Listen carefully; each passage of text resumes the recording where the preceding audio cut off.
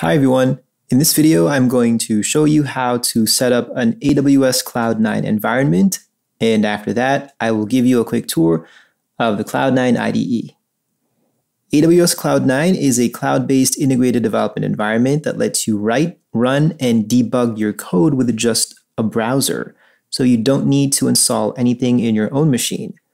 Cloud9 gives you access to a computer in the cloud and this machine will come with prepackaged tools for popular languages like Python, JavaScript, MySQL, and many more. And aside from that, you will also have the option to install additional tools that you may need for your projects.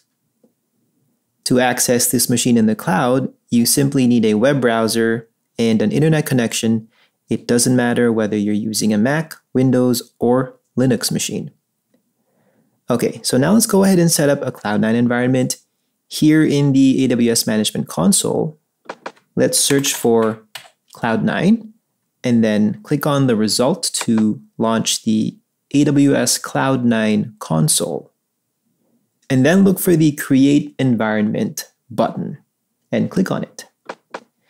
Now, step one is to give it a name. I will just give it a generic name, but for your actual projects, it's a good practice to make sure that your names are more descriptive. And then you also have the option to give it a description. Then go ahead and click Next. Now here in step two, we configure the environment. Under environment type, we have three options. I won't go into the differences between these three.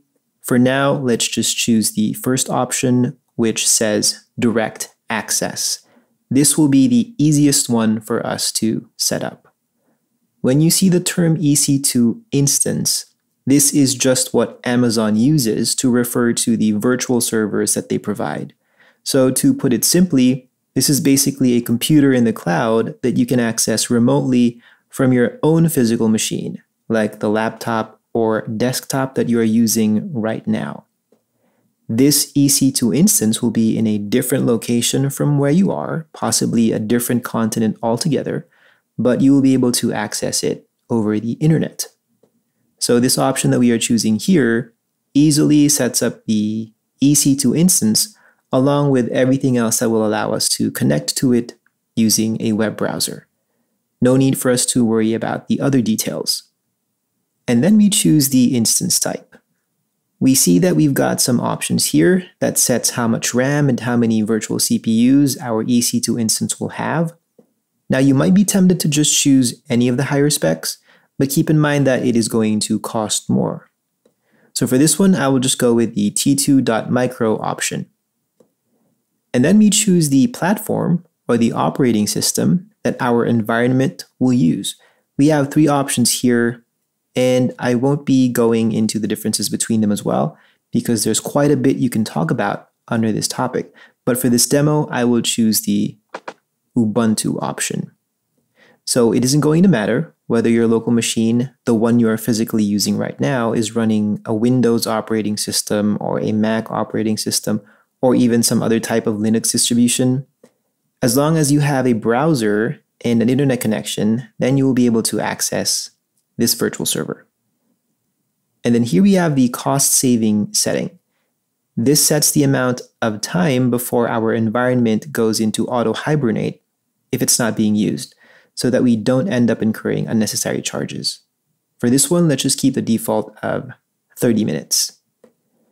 And then we can just go ahead and ignore these other settings and move on to the final step where we just review the details. And if everything is okay, then we click on Create Environment. So now the Cloud9 environment is being created. This may take a while, but once this is done, we will have access to our Cloud9 IDE, which is completely browser based. You can actually see the IDE in the background right now. As you can see, we are still in the browser, and once the process is complete, we can access this IDE immediately. Okay, so now this Cloud9 environment has been successfully set up. Let's go ahead and take a look at some of its important sections. Up here at the top, we've got the main menu, You can click on this button to collapse it and then just click anywhere in the collapsed area to bring it back. And then here in this large area is where the editor resides. This is where we can edit our files. But right now we don't have any files yet and all we see is just the welcome page. Down here is the terminal window where we can interact with the command line interface or CLI for short. This CLI that we see here allows us to execute commands on the EC2 instance or that virtual server associated with our Cloud9 environment. In other words, when we execute commands here, we are actually executing them on that computer, that server in the cloud, which is located somewhere else in the world. We are just connecting to it via the internet. So our local machine doesn't really do anything here except to send and receive information to and from that virtual server that we are connected to using this browser-based IDE. And this particular server that we set up here, we chose the Ubuntu operating system for it, if you recall. So even if you're using a Windows machine right now, for example, the machine on the other end of this browser-based terminal is a server running the Ubuntu operating system. Okay, so you can close this terminal by clicking on this X button, but if you want to open additional terminal windows, you can go to Window and then choose New Terminal. Okay, so earlier I mentioned that Cloud9 comes prepackaged with some tools like Python and JavaScript, for example. So let's say if we want to use Python, we don't need to install it anymore we can just type Python 3 to launch the Python interactive shell. And here we see at the time of this recording, it already comes with Python 3.6.9. You might see a different version depending on when you're watching this video, but you can also upgrade this if you'd like. Okay, so you can run some Python commands here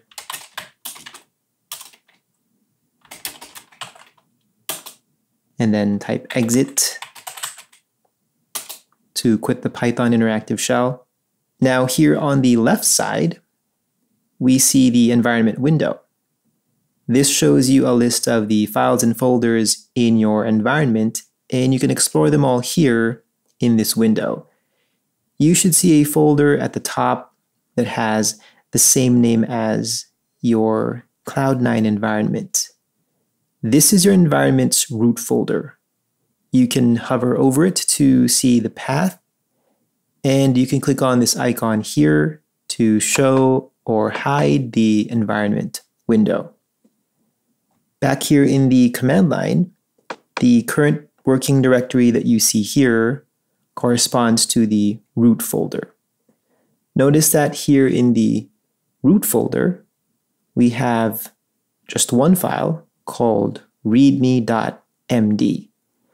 If I go here to the command line and type ls to list the files and folders inside this directory, you will also just see the readme file here because these are both referring to the same location. We just have two different ways of accessing the same thing. And of course, these files and folders are located in the virtual server. None of these are in your local machine. We are just accessing all of this remotely. Okay, so I can make a new folder here in the environment window by right clicking on the root folder and choosing new folder. I'm just going to name this one folder one. And then if I go back here to the command line, and type ls again, you'll see that it now also shows the newly created folder. And then I can also create a new directory here in the command line by typing mkdir or make dir, followed by the new directory's name. Let's just call this one folder 2. So this will create a new folder named folder 2 inside the environment's root folder and then you see it show up here in the environment window. And then if we want to change directories here in the command line, you can just use the cd command. So here in the root folder, I can type cd folder 1 to go inside it. And as you can see, the prompt shows that my current working directory is now folder 1. If I want to go back up to the root folder, I can type cd followed by a space, then two dots. And then we can also create new files. One way is to click on this plus icon and then choose New File. And this adds a new tab in the editor window for this newly created untitled new file. Another option is to use the Control N keyboard shortcut. That creates a new file as well. Okay, so now that we have this new file, we can type some code here, like some JavaScript or PHP, for example. Let's just go ahead and create an example in Python.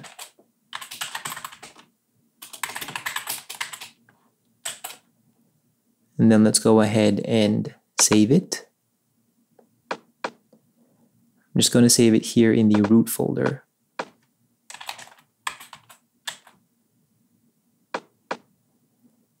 And then to run this, we can just click on the run button and then it shows us any output down here in what's called a run configuration window. And here is our basic output. Now, I just want to point out that you can also expand this entire console area by clicking on this button here and then click on it again to make the console smaller. And then if you accidentally close the entire console, don't worry, you can simply go to View Console to bring it back. Now, if you want to upload files from your local machine onto your Cloud9 environment, you can easily just click and drag to upload. I have some Python files here, and I will just drag them to the desired folder like folder 1 for example. And then you will see the upload progress here, but since these are very small files, the upload is just quick. And here are the files. To open a file, you can simply double click on it and it opens up in the editor. All right, so that ends this short tour of the Cloud9 IDE, but there is definitely more to explore in the future. If you want to launch the Cloud9 console again, you can click on this Cloud9 icon here in the main menu, and then choose Go to your dashboard. This opens up a new browser tab, and you will see all the Cloud9 environments that you currently have. Right now there's only one, but we have the option to create more. If you want to shut down your EC2 instance, you can go to the terminal and type sudo power off. And then you can just go ahead and close the tab. There's no need for you to wait for the shutdown to complete. And even if you forget to close this, remember that we set it up so that it's going to auto hibernate after 30 minutes of being idle. And then to launch it again, just go back to your Cloud9 console and click on Open IDE. And then if ever you click away from the Cloud9 console, you can always just look for it again here in the search bar. All right, so that's it for this video. Thanks for watching.